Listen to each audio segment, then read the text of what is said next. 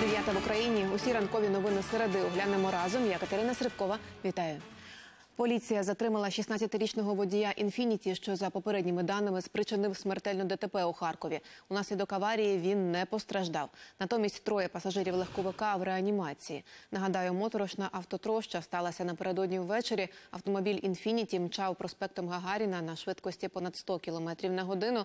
На одному з перехресть він не зупинився на червоне світло і буквально протаранив автомобілі, які виїжджали на зелене.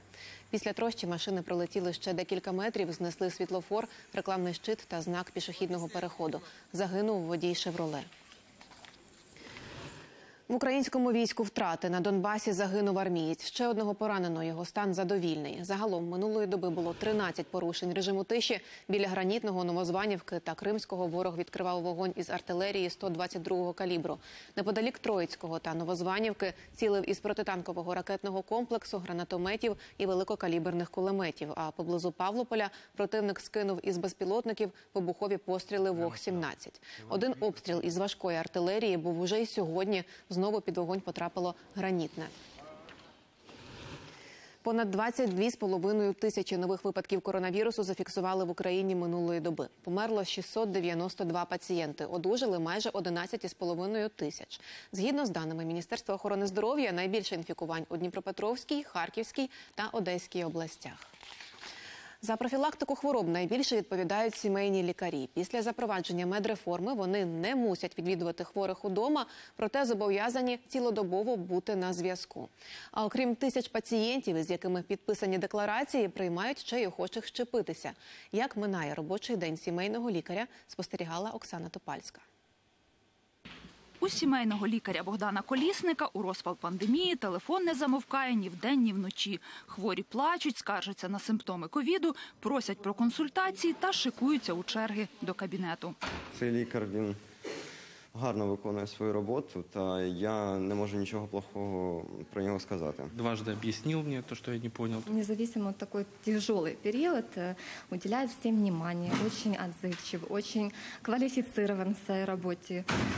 Ну, все хорошо. Ну, З початком пандемії е, стало більше роботи насамперед. Раніше працювали 7 годин, 6 годин, тепер 10, може і більше. Ну, стараємося в такий е, важкий час більше емоційно відпочивати, відпочивати з друзями, з сім'єю, активний відпочинок, спортзал. Ну, якось стараємося заміщати ці такі важкі часи теперішні. А в цій кімнаті поруч пакують валізи до центру вакцинації. Богдан поїде за три кілометри від лікарні до торговельного центру. У міні-холодильниках препарати для щеплень. Запланована вакцина AstraZeneca, вакцина Pfizer і вакцина Коронавак. На кожного пацієнта шприц до вакцини, серветки. Сучасний мішок амбу, який дозволяє, як то кажуть, не дай Боже, е, подихати пацієнту до прибуття е, кваліфікованої швидкої допомоги реанімаційної бригади. У чергу до центру вакцинації люди вишикувалися за дві години до відкриття. Перед уколом просять про роз'яснення медиків. За деклараціями у сімейного лікаря Богдана Колісника майже дві тисячі пацієнтів, а ще консультації та вакцинації. Ну, Колись за день потрібно було 12-15 людей прийняти. Це за 5 годин прийому. Ніколи менше, ну тепер це 30-40. У сімейній амбулаторії, аби хоч трохи спростити життя лікарям, створили гнучкий графік роботи та допомагають одне одному приймати пацієнтів. Та сподіваються, що спад захворюваності настане. Працюють майже цілодобово, ризикуючи життям за аж зовсім незахмарну зарплатню. У середньому по Україні лікар первинної ланки отримує 14-15 із половиною тисяч гривень на місяць. Для порівняння помічник-консультант депутата Верховної Ради обходиться платникам податків у 44 тисячі гривень щомісяця. Оксана Тупальська, Василь Дендін. Новини телеканал Інтер. У Латвії через спалах коронавірусу збираються оголосити мобілізацію медиків. Мінохорони здоров'я зробить відповідний запит у п'ятницю. План мобілізації також передбачає збільшення кількості ліжок для пацієнтів до трьох тисяч, якщо показники захворюваності не знизяться. Вже понад тиждень Україні мало не щодня інфікуються більше як дві тисячі людей. До 20% жителів планети потерпають від трипанофобії, бояться робити щеплення. Допомогти таким людям взялися вчені з Нідерландів. Як саме Тетяна Логунова розкаже. Нідерландська актриса Астрід Нейсе нарешті наважилася на курс терапії. Уже багато років жінка потерпає від трипанофобії, тобто панічно боїться голок, шприців і уколів. Це почалося в підлітковому віці. Коли я бачила шприц, бо мені потрібно було зробити щеплення, я одразу хотіла втекти. Лікар, який допомагає пані Нейсе та іншим трипанофобам подолати страх, нині ледь встигає приймати пацієнтів. До Хенка Шенка звертаються люди, які хочуть вакцинуватися проти коронавірусу, але бояться уколів. Люди, яким раніше вдавалося уникати ін'єкції, нині опинилися фактично в безвиході. Цього року я працюю переважно з пацієнтами, які потребують щеплення проти ковіду. За різними даними на трипанофобію страждають від 10 до 20% жителів планети. Один погляд на шприц викликає в них запаморочення, підвищення тиску і панічні атаки. Допомогти цим людям вирішили науковці з університету Твенте і розробили метод безголкової вакцинації. Ця технологія вкрай важлива, адже якщо ми приберемо з процесу вакцинації голку, багато людей, які бояться ін'єкцій, наважаться на щеплення. А ще такі уколи абсолютно безболісні і не залишають слідів на шкірі. Протягом мілісекунди скляний контейнер із рідиною нагрівається лазером. Формується бульбашка, яка виштовхує рідину зі швидкістю 100 км за годину. І ось ви бачите, як ця рідина проникає в поверхневі шари шкіри приблизно на міліметр. Наразі цей метод проходить клінічні випробування. Вони триватимуть близько року. Якщо симптоми трепанофобії добре відомі, то причини її виникнення й досі вивчають. За словами психологів, цей страх родом із дитинства і пов'язаний з негативним досвідом проходження певних медичних процедур. А ще трепанофобія може передаватися у спадок. Принаймні більше ніж половина пацієнтів, які бояться ін'єкцій, мають родичів, які так само намагаються уникати щеплень. Тетяна Лугунова, Павло Лисенко, Європейське бюро телеканалу Інтер. Із 8 листопада в США запрацюють нові правила авіаподорожей до країни. Відповідний указ підписав американський президент Джо Байден. Згідно з ним, іноземці, які хочуть в'їхати до Сполучених Штатів, мусять мати ковід-сертифікат, а вакцина має бути затверджена США чи ВООЗ. Крім того, кожен подорожувальник мусить мати негативний тест на коронавірус, зроблений не раніше ніж за три дні до вильоту, або довідку про антитіла. Щонайменше 10 людей загинуло, 12 травмувалися внаслідок теракту на сході Іраку. Відповідальність за атаку взяло на себе терористичне угруповання іділ. Бойовики відкрили вогонь по мирних жителях у селищі Аль-Рашад за 100 кілометрів від Багдаду. За останні місяці терористи дедалі більше вчиняють напади на іракських правоохоронців та цивільних у регіонах раніше контрольованих іділ. Вже загинули десятки людей. Щонайменше восьмеро людей загинули, 157 поранені внаслідок протестів проти військового перевороту у Судані. Більшість жертв загинули від задухи через застосування сльозогінного газу. Нагадаю, у понеділок військові арештували суданського прем'єр-міністра та інших високопосадовців і оголосили в країні надзвичайний стан. Лідер військових, генерал Абдель Фаттах Аль-Бурхан, заявив, що владу захопили, аби запобігти громадянській війні.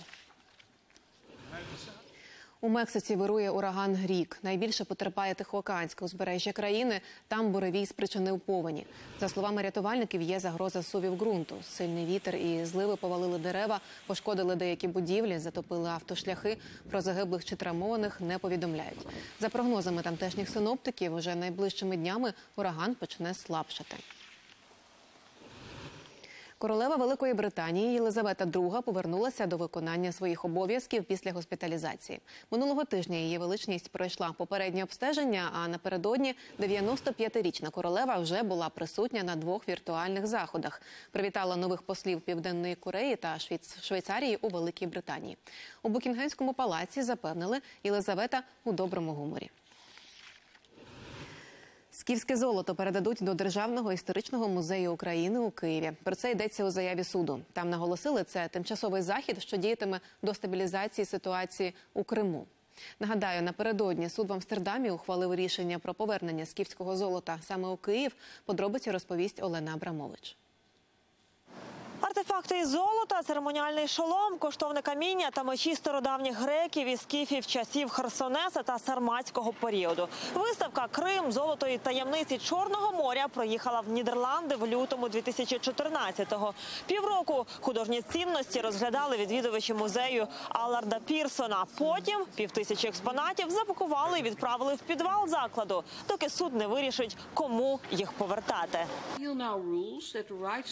Апеляційний суд постановив, що права української держави, засновані на законі про музеї, мають перевагу. На підставі положення українського законодавства музей Алларда Пірсона більше не зобов'язаний повертати предмети до кримських музеїв. Сторони мають право подати апеляцію до Верховного суду Нідерландів.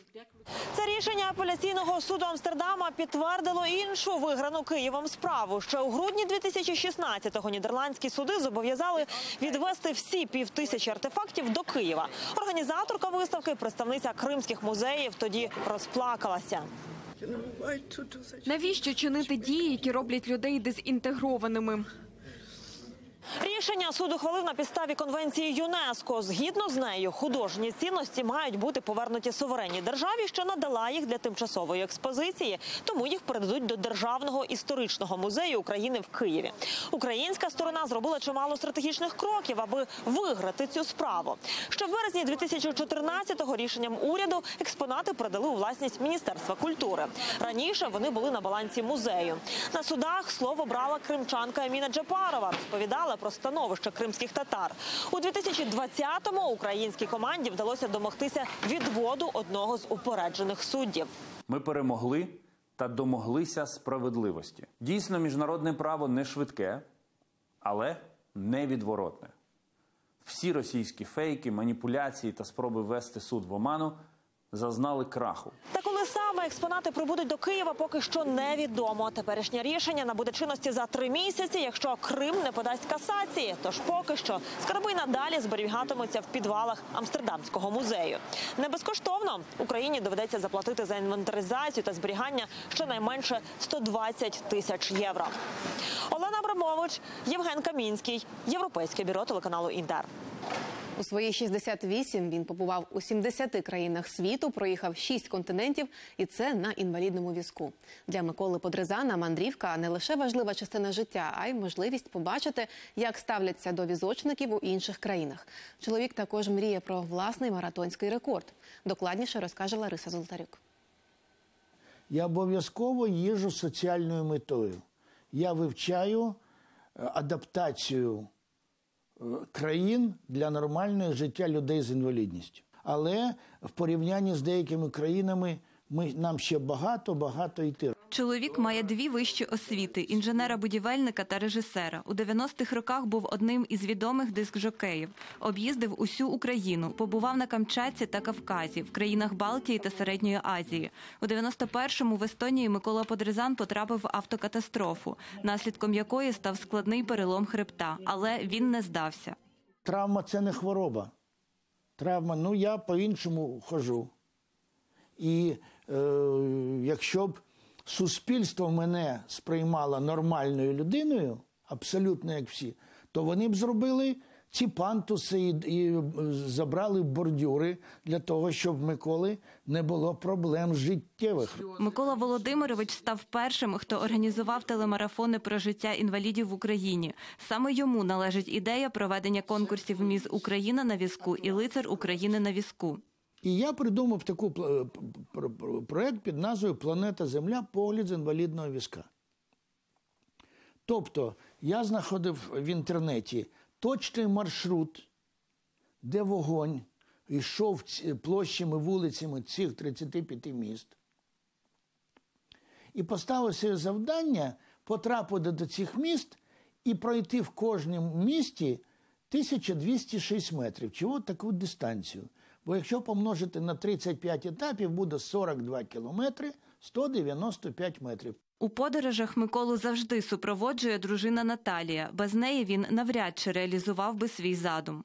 Ми один одного надихаємо. Я дуже люблю подорожувати. Якщо у нас буде гарні квитки сьогодні на завтра летіти в дуже цікаве місце, то ми зберемося за одну ніч і поїдемо. Микола Володимирович пристрасний шанувальник Бітлз. Під час подорожей завжди намагається відвідати концертні зали, де виступали музиканти. Уже побував у 30 містах у 13 країнах, де гастролювала четвірка. Зокрема, в Гонконзі, Токіо, Новій Зеландії, Австралії, США та Канаді.